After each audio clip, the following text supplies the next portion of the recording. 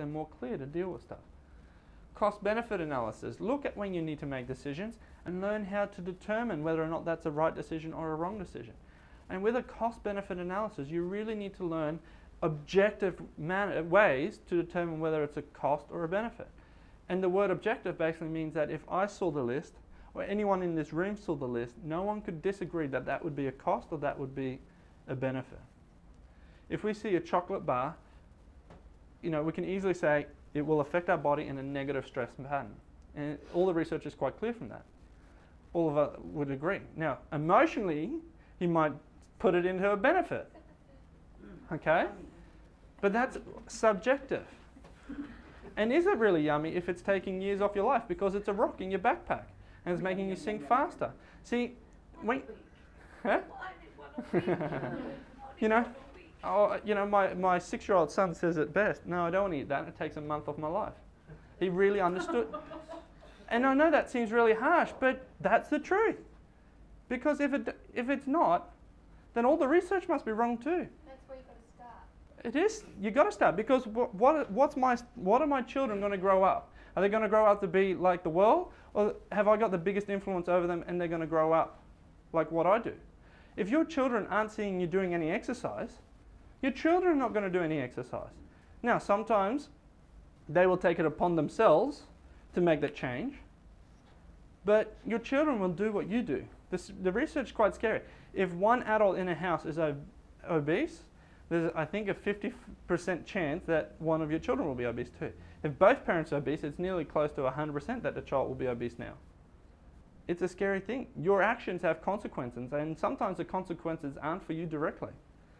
And so when we're thinking about food and diet, it's the biggest cause of stress to the body. The Western society is committing themselves, uh, you know, committing suicide at a rate of 80% of our population on a daily basis.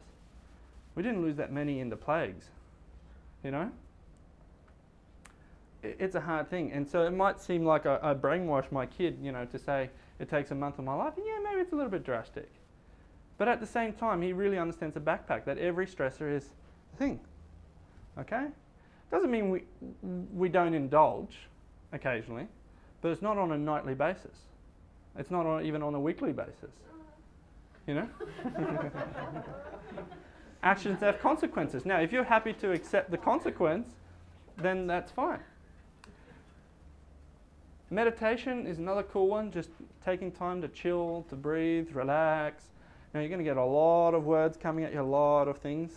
Now, you can either deal with them there, which could take a while, or just say, no, this is just chill, breathing, relaxed time. Okay? Next day planning, to do list. That's one of the best things that will get you structured.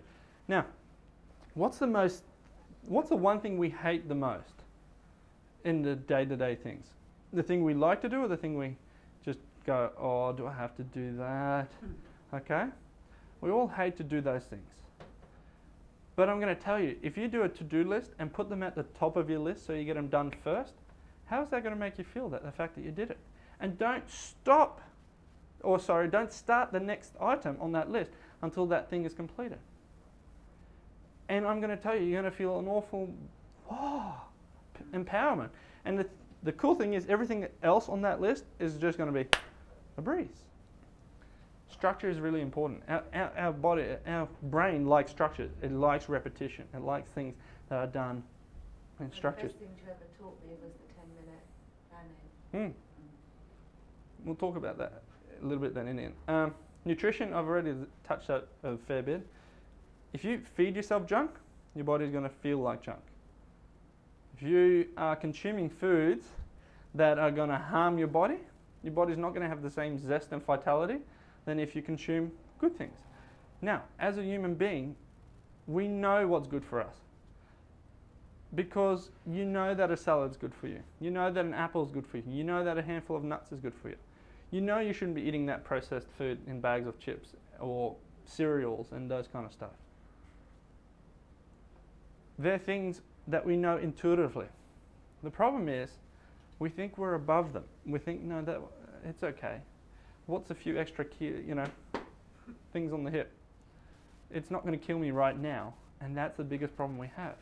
Might not kill you right now, but it might actually mean that you're not living the quality of life that you could have, because it a chocolate bar will give you that dopamine, but afterwards you, and when you feel, you're feeling stress, it will create an emotional stress in the body, which responds the exact same whether or not your boss was yelling at you all day. Okay? Change your state of exercises. Okay? If you are currently letting the dog walk you, okay, you're not fit enough. Okay? You need to be able to keep up roughly with your dog. If you're not doing 30 minutes of physical exercise on a daily basis, you're not doing enough. And don't tell me you don't have enough time because you're going to learn next month how to get the time. We all have the time. Because if it's a priority to us, you will make the time. Because there are things you're doing right now that are harming you that you could replace with things that would be good for you. Hour of power is a cool thing. 20 minutes of meditation, 20 minutes of exercise, 20 minutes of reading or visualization. Okay?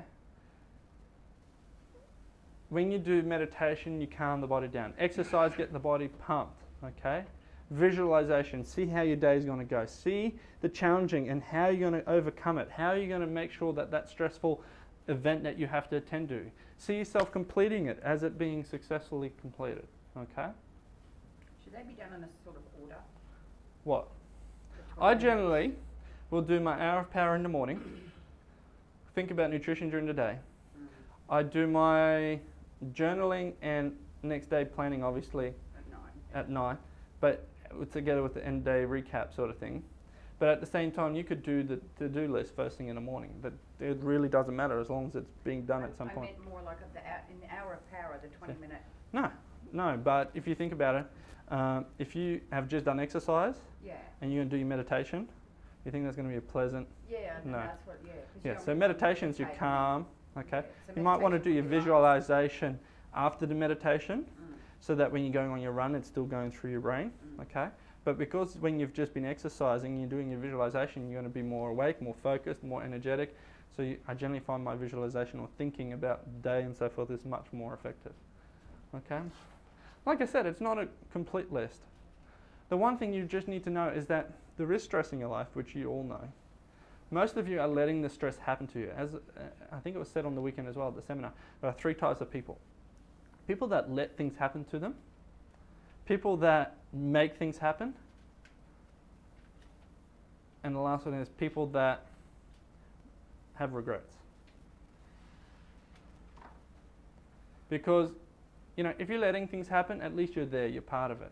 If you're making things happen, you're there controlling your life. If you got regrets, it means you weren't doing anything. You just, you know. When you have stress in your life, the best way to manage it is to hit it head on.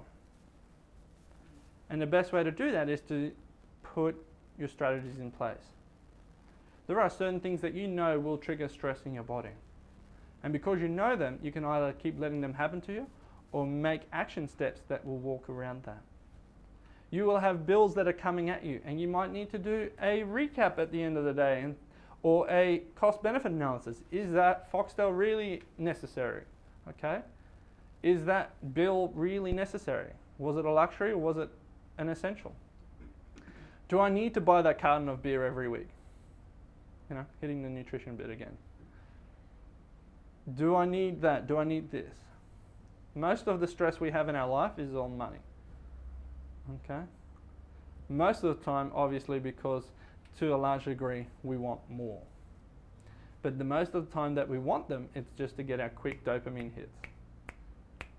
And afterwards, you just go, okay, mm, it's done. We've got to look for things that will keep that dopamine flowing. Find stuff that you're passionate about, things that you're enjoying, okay? And the biggest one that you need to work out how to enjoy is your job because you're going to spend most of your life there.